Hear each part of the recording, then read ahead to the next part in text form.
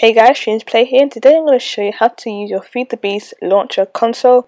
Now, I know a lot of you on my um, tutorial videos actually um, asked me how to actually use the console. Most of you don't actually know what it's for, but um, I'm prepared to teach you how to use it. So basically, your console is for all your errors, everything that goes wrong on your Feed the Beast launcher or, or in the actual game it will tell you. And um, how you use it, you paste it into Pastebin and then you ask admins or people that actually play Feed the Beast to help you. Um, I, I've actually used it myself um, because um, I've had a couple of problems with it. They've actually, uh, the people in the Feed the Beast chat have actually been really nice and they've helped me with my stuff. Um, so now hopefully I can get you to do that as well and get them to help you like they helped me. Um, so basically what you want to do, you just want to open your launcher open the jar file or the exe file, whatever you, whichever one you have, and then you don't want the actual launcher. You want to get rid of that, um, and you want to just have this console right here. This is what I meant by the little grey box. Um, I probably confused some of you, or um, some of you just didn't know what it was. Um, so this is basically your console, and um, basically what you want to do if you have errors or anything, it says Minecraft error or your FTB um, launcher crash, do you want to go in here? Um, you can select um, what you want. You want debug version, do you want the extended version on the minimal version? I prefer the minimal version because it's less, it shows less stuff, but at the same time, it's kind of it's not so crammed with information. Um, so do you just want the launch to show the launch or do you want just the Minecraft? Um, that will show you everything that goes wrong with your Minecraft, e.g. if it crashes, if it freezes, if something doesn't load up properly. It will show you all that stuff. Um, then what you want to do, um, say for example you have an error um, loading your jar or you have an error with your feed the bee launcher actually crashing on you, um, you want to go paste my log into the pastebin.com and you want to do, yes, do that. Alright, and then your browser will load up automatically. Alright. And then when this happens, um, if it loads up, okay, it'll take you to this website. Alright, and then it will paste it into here. Or you can paste it into here. Alright, so just go Command V on Mac, Control V on um, Windows.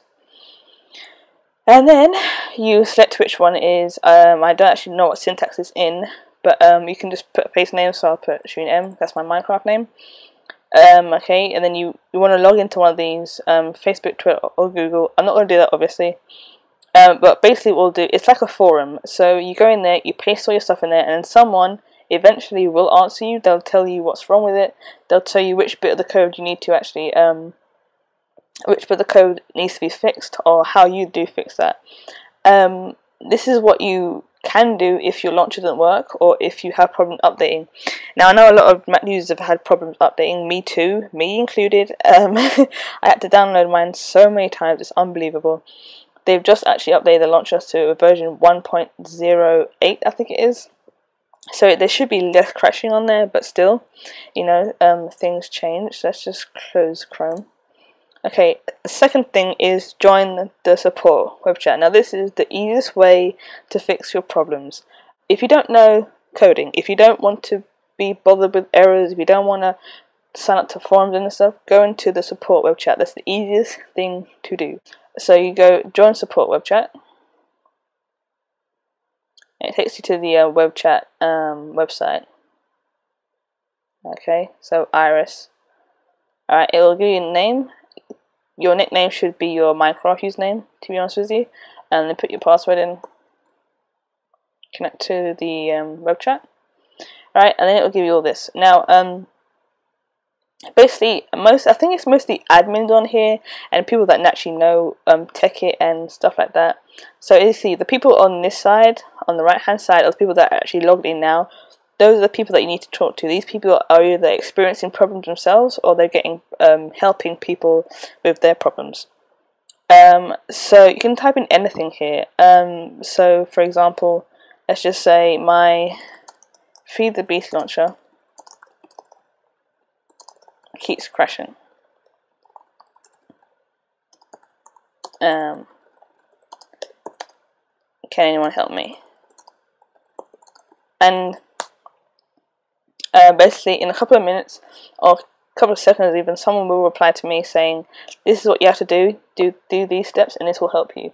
Um, this is basically like the quicker version of the forum.